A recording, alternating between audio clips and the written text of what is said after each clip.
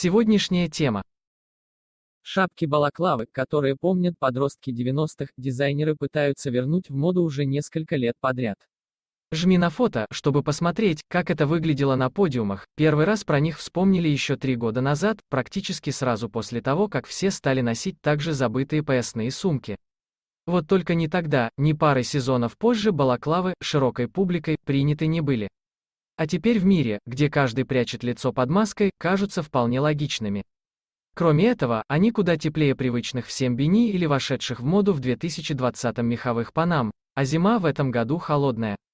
Другой тренд «Панамы на звездах» можно рассмотреть в галерее ниже, от вируса балаклава, кстати, не защитит, он легко проникнет через плетение, впрочем, как и через большинство тканевых немедицинских масок.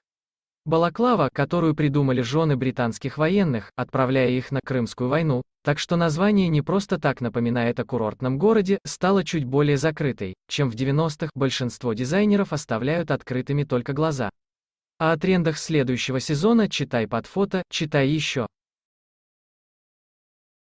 Ставь лайк и подписывайся на наш канал.